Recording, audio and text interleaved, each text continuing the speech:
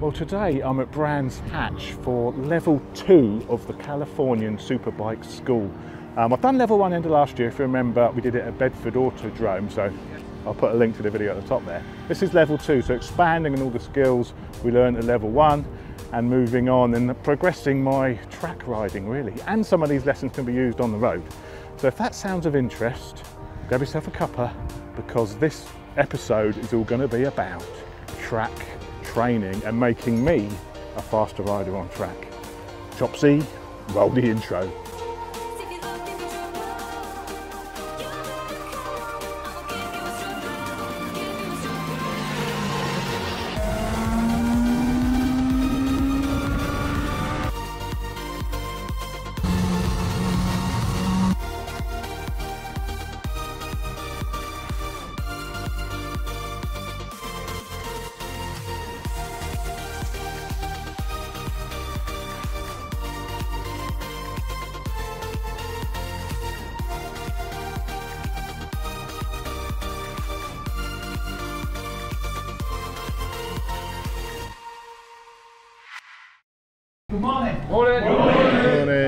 Doing most of the classrooms today, and my name's Gary. Um, we have some on-track coaches, and their job is to make sure that you can apply the techniques you learn in the classroom when you're out there riding. The California Superbike School was founded in 1980 by Californian Keith Code. Keith's methodology has been taught to numerous championship winning riders such as Wayne Rainey, James Toseland, and Leon Camier.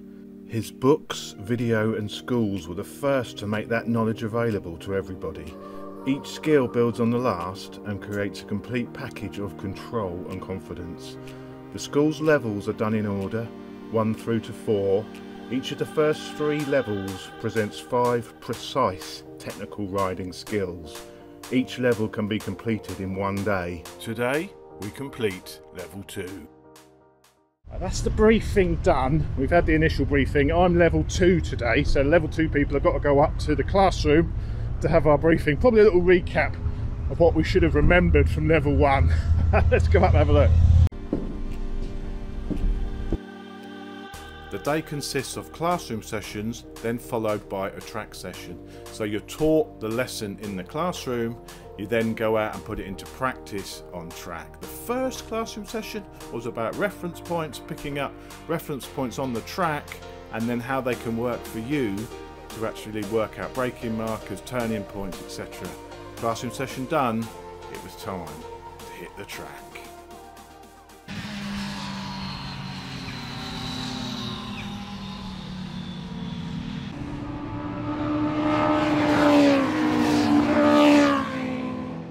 So that is the first session done. It's a bit of a rush. I couldn't get any cameras on the bike. They wanted an extra tether on the camera on the front, so couldn't get any cameras at that first one. But the first lesson was all about uh, focusing, you know, reference points on the track.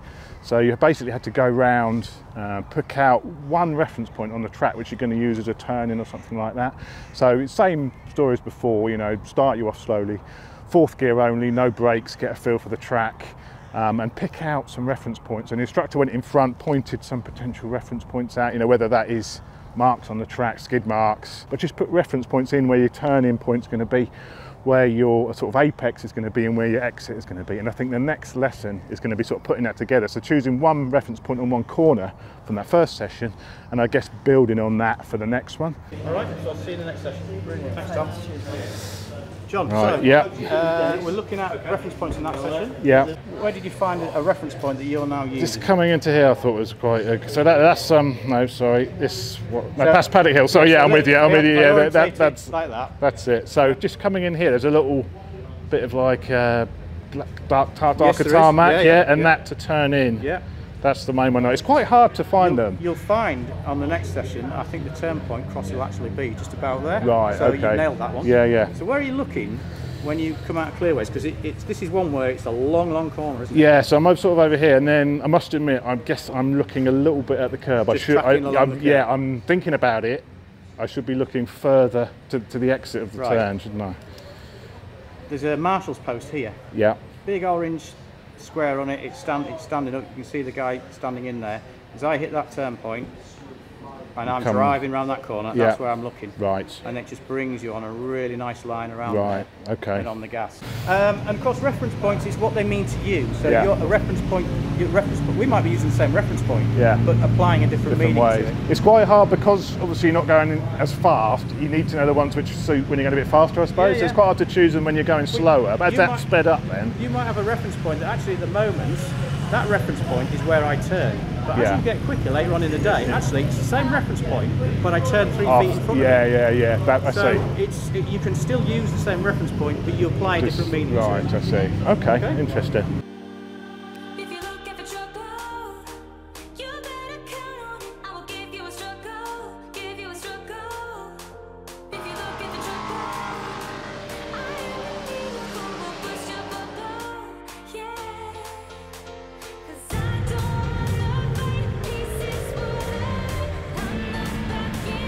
Three was the three step, and this built on level one's two step drill, looking at the exit of a turn as early as possible. In this drill, concentrate on taking your eyes off the apex when you knew you were going to hit it and looking at the exit point as soon as you could.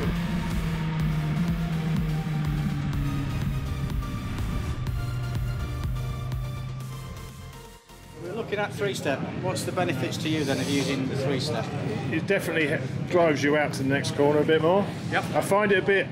I'm used to looking at the curve. I've noticed. Yeah, And you- I- you mentioned that. Yeah, yeah, and there's- having to force myself to look away. I'm like, oh, what's going on down here? Do you know? what I mean? It takes Yeah. a little while to. Yeah, yeah, yeah. And and uh, but no, it's definitely helps, and it does sort of slow everything down a little bit. Yeah. So, so you can concentrate a little bit more. And that's that's the key. What we're looking at. I was just talking to Matt about it. It's about Yeah. that flow of the the information coming Yeah, through yeah, our yeah. eyes to our brain. Yeah. And, You know, the, the analogy I use is that go, the train going into a tunnel. Because when we're on the train, it's like beautiful, looking at the beautiful countryside. It's great, and all of a sudden, it's, Yeah. we feel like we're going quicker. The speed's the same. Yeah, yeah, yeah. And that's how your brain gets messed up. Yeah. If you if you target things onto something coming into the corner, uh, You're all this looking. is- yeah, all this is exactly. It's whizzing right past. Oh, it's going, yeah. I'm going too fast. Yeah, yeah. Go, go tense. So we've got to get our vision right. Vision is key to Yeah. being relaxed. If we're relaxed, we turn relaxed, we can steer really quickly. Yeah. So if we turn on the turn point, we're going to get that good drive. Now. All comes together. Yeah. Your drive out of Druids is really, really good as well. Is it? When you're not balked by other bikes. Yeah, yeah. That's the trouble, isn't it? Um, the, there's just there's a couple of things at the moment with body position, which is probably just um, holding you back a little George, I'm struggling without the tank grips on it. It's very Yeah. slippy. I'm, I'm really noticing when you said about relaxing the upper body. Yeah. I can't. I've got to be in the turn before I can. So remember, uh, we, we haven't got one today, so it's foot peg under here. Yeah. And as you come to the corner, drive the ankle up. So it's not just foot peg and squeeze. Okay. It's drive up and in. Okay.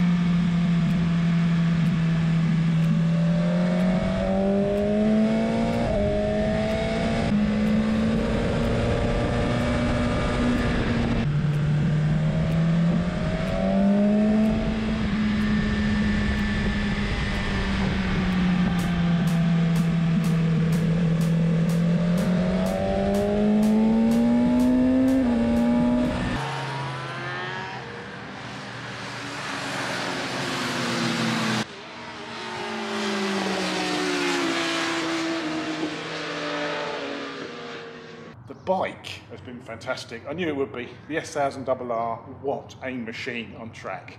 Oh, it's incredible. So tyre wise, we've got the Racetecs. Nicely bubbled them kitties up. I've uh, dropped a bit of pressure in the tyres. I'm not sure what to go for. Went for 32 in the rear and about 30-ish in the front. I actually rode this up here today, so it was an hour, an hour and 20 minutes riding this up here in the uh, the road mode, so fully comfortable suspension, and then you come on the track, put it in the race mode, and it's, and it's a race bike. I'm conv- I'm convinced this bike. I said before this is almost like a sports tourer. This machine, and it is to a degree. But uh, this is the first time I've done a decent distance on it.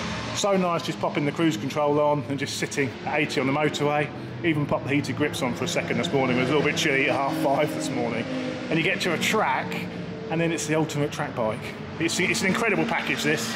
The last few sessions have been about visual. Today's all about visual reference points, visual checks, using your peripheral vision rather than having your eyes darting about the place.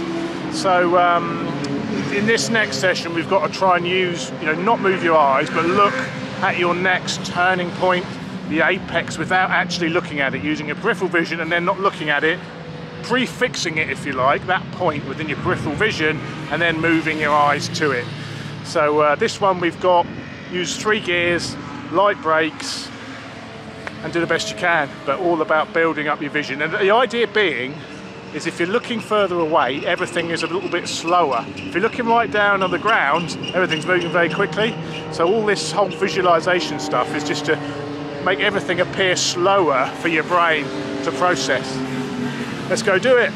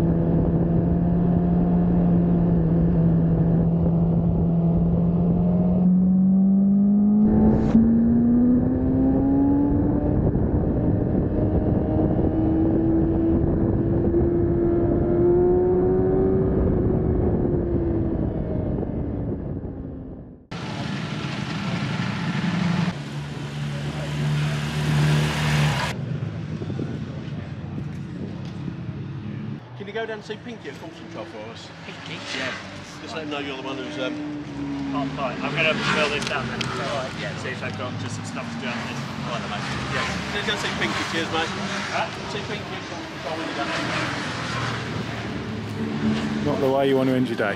Now is probably the perfect time to mention track cover from BeMoto. I had my double R, or BMW's double R, fully covered for the track, so if the worst happened then I binned it I wasn't liable for a 20 grand motorcycle. If you've got an expensive motorcycle, check out BeMoto's track cover below and don't let the fact you've got a dear bike stop you going on track. Advert over. Jizz machine.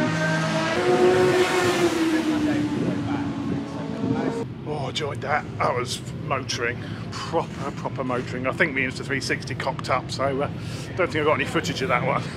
Let's go for the deep debrief, so to say. Back at the Held this morning, there was Yeah. it was sort of it wasn't a smooth flow through the corners. Yeah, yeah, yeah. As we've gone through the day, um, your your helmet movement is very it's just like Yeah, and now following like around paddock and Clark, Clark Clearways Clark Kerr. clearways, yeah. Wow, it's just you're there you, and you you're right up. You can see the chin up, Yeah, looking, driving Yeah. towards that Yeah, yeah. right out of that bend. yeah. And, and so what's happened now is you're getting ahead of where you, you're keeping where you are in your peripheral, Yeah. but you're working your vision with where, where Further you want to forward, go. yeah, yeah, yeah. And that's, the difference between the start of the day. that's You the target, start of innit? the day Yeah. you were going kind of like turn point, apex, exit.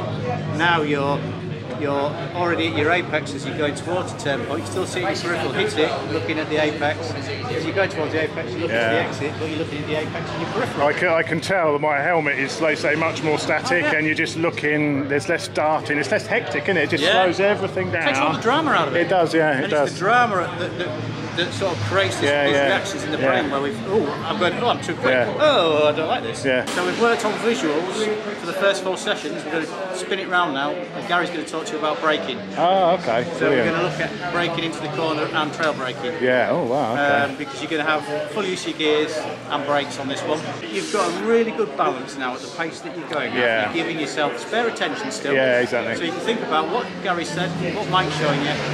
It's coming together Yeah. really nicely. Yeah. Brilliant Super news. That's fantastic. Oh, Sma- smashing. Thanks, Mike. Is it back up to the briefing now? Is it? Yeah.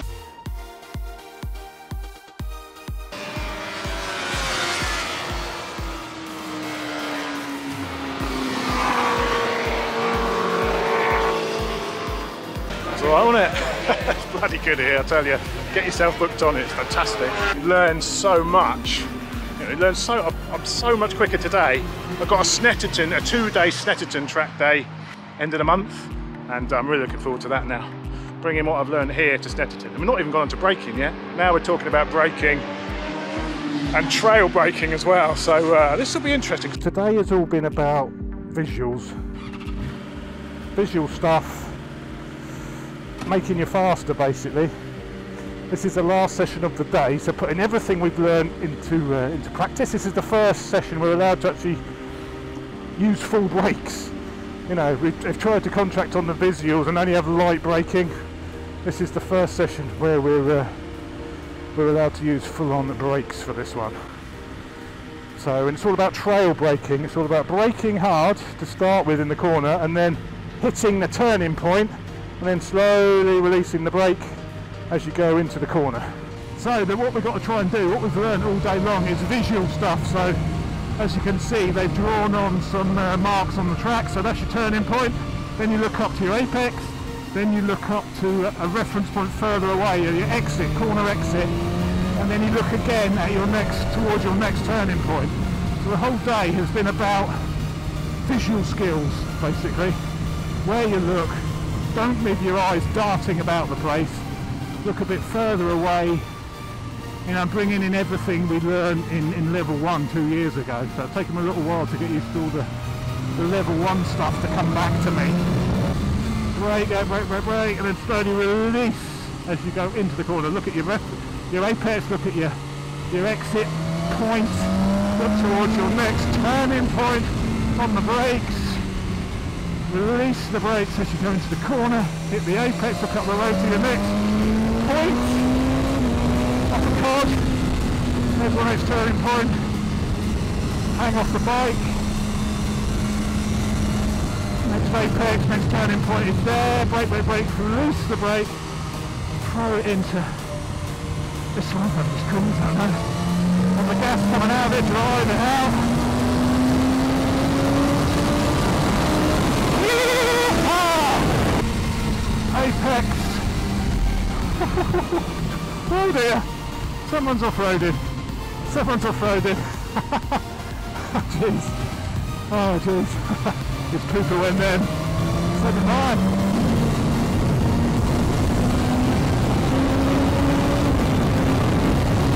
Oh, Mike. They show me brake. Release the brake slowly.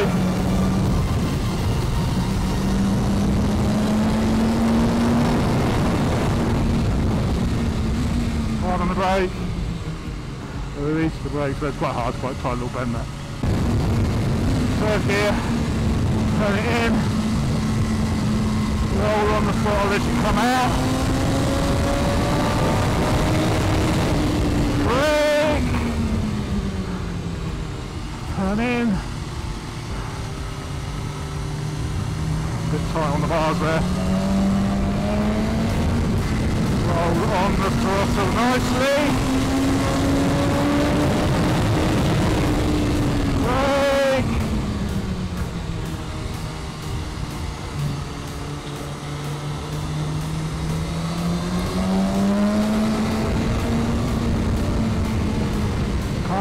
Past this chap actually.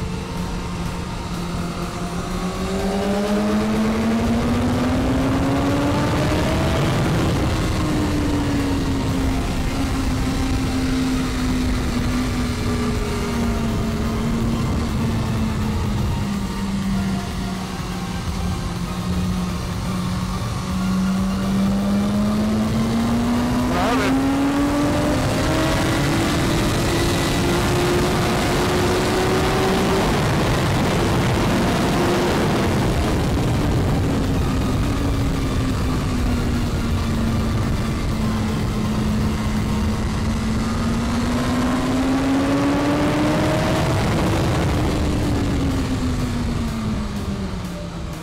Brake out.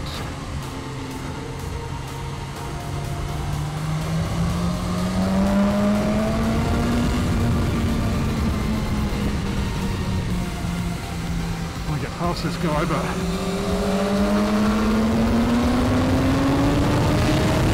the traction controls limiting my drive out there. I might knock it down the car, I won't adjust it now. Not worth the risk, is it?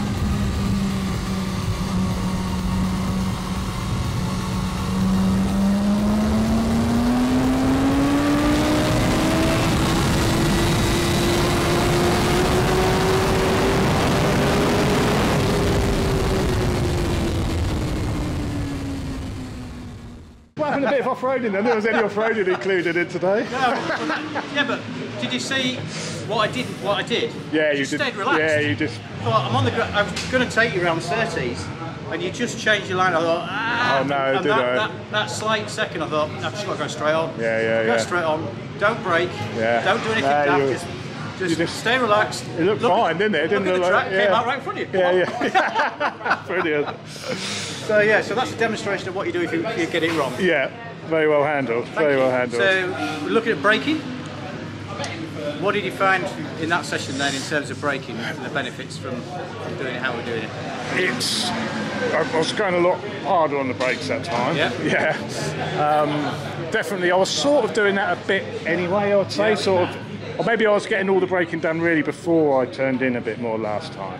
So I came from the advanced road riding and it was all mainly done on throttle or braking in Yeah, a straight line. yeah, exactly. When I first started coaching and riding with the coaches, they gapped me. Like, Yeah. How the hell are they doing it? Yeah. they- the track bikes don't have the brake lights. Yeah, of course. And then of course when they introduced this braking into the one into this level, light bulb. Yeah, Okay. yeah. And it's that confidence that really hard in straight line. Yeah. You, you carry it into the corner, but you, as you're taking the lean angle, you're letting the brake Yeah, pressure go. yeah. Big thing for me today, for you, was that it's gone from that Yeah, to that with the head. that's really helped. And the, the minute you started getting that, whoa, Yeah. your pace just went Yeah. up a notch. absolutely fantastic day. I didn't think you could learn as I thought level one was where you learn more or less everything, you know, you learn most of the stuff in level one, which you do. You do learn the foundations in level one. But level two today, those visual skills, it's really, really improved my riding. So I can't wait for Snetterton now to put this into practice. And uh, it's been fantastic. So I hope you've enjoyed it. If you have, subscribe and uh, I'll see you in the next video. Cheers guys.